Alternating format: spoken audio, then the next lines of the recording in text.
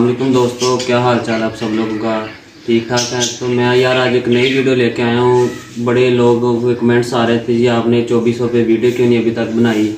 तो मैंने सोचा चलो आज आपके लिए एक वीडियो बना लूँ, ताकि आप लोगों को थोड़ा इन्फॉर्मेशन आपको दे सकूँ।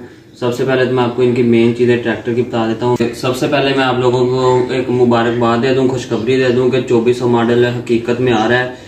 क्योंकि कुछ लोग बता रहे थे कि चौबीस की जो खबर है वो फेक है तो ये सब झूठ है। मैंने आ, आपको सच और बिल्कुल कंफर्म करके आपको ये चीज़ बताई है कि चौबीस ट्रैक्टर मॉडल आ रहा है।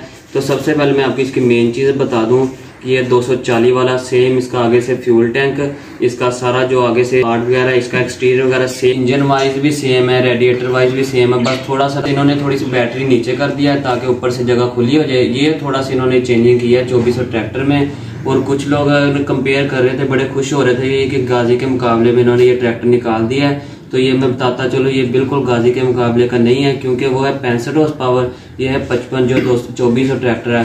और गाजी में जो है वो पावर स्टेयरिंग लगा हुआ है। इसमें जो मेन चीज़ है ना, चौबीसों में, इसमें वो पावर स्टेयरिंग नहीं लगा हुआ, जो कि बहुत सारे लोग, किसान भाइयों को ये चीज़ अच्छी नहीं लगी, क्योंकि तकरीबन मिनिमम सत्रह अठारह लाख का वो ट्रैक्टर होगा तो उसमें पावर स्टेयरिंग नहीं होगा। तो ये बहुत बुरी चीज़ है एक, क्योंकि उन्हें सोचना चाहिए था मिलत वालों को, इतनी अच्छी जब आप चीज़ बना के दे रहे हो तो पावर स्टेयरिंग में लाजमी देते क्योंकि 260 और 240 को मिला के बनाया है। तो इन्हें पावर स्टेयरिंग लाजमी देना चाहिए था। और 260 आप देख लें, इतना बड़ा ट्रैक्टर है फ़ेमस है, ट्राली में भी बहुत अच्छा चलता है। उसमें भी पावर स्टेयरिंग नहीं दिया होगा। तो इसीलिए जब इन्होंने दोनों को मिलाया है ना कंपेरिजन किया तो लाजमी इन्हें पावर स्टेयरिंग देना चाहिए था। तो जी, उसके बाद हम आते हैं इसकी बिल्ड क्वालिटी पे, चौबीस ट्रैक्टर की। उनकी बिल्ड क्वालिटी बहुत अच्छी है 240 और 260 से मैं इसलिए बार बार मैं आपको बार बार मैं दोनों ट्रैक्टर्स के नाम ले रहा हूँ, क्योंकि उनकी बिल्ड क्वालिटी नहीं अच्छी दो चौबीसों की अच्छी है, दोनों को कंपैरिजन जो करके बनाया और जो इसका पीछे कड़ा ओपिनियन 260 वाला बनाया हुआ है, बड़ा 240 वाला नहीं। और जो 240 वाला कड़ा ओपिनियन था, पीछे जो छोटा था, ट्रालियों के पीछे टूट जाता था, जब ज़्यादा मिट्टी लोग डालते थे, जब मतलब कभी कहीं फंस वगैरह जाता था तो टूट जाता था। लेकिन इन्होंने अब 260 वाला बड़ा लगा दिया इनशाला वो मिलत वाले कह भी रहे थे कि इनशाला पूरी उम्मीद है कि वो नहीं टूटेगा। तो हम भी उम्मीद करेंगे कि अल्लाह करे ना ही टूटे। इसके बाद हम आते हैं टायर पे। टायर का साइज़ 240 वाला दिया हुआ है, छोटा। और मेरे ख्याल से एक अच्छी चीज़ है ये वाली।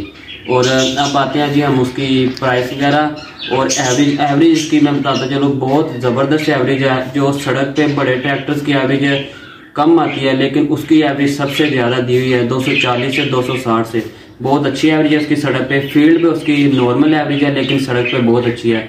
अब हम आते हैं जी, इसका रिव्यू कब करेंगे? इन वो हम बहुत जल्द करेंगे, जब हमारे आसपास कहीं ट्रैक्टर आएगा। क्योंकि अभी मुल्तान में मुल्तान में हमारा चक्कर नहीं लगता, मैं क्योंकि यूनिवर्सिटी पढ़ता हूँ। तो इनशाला जैसे ट्रैक्टर वो आएगा, हमारे आसपास हम ज़रूर वीडियो निकालेंगे। अगर वीडियो अच्छी लगी हो तो लाइक और सब्सक्राइब लाजमी करना।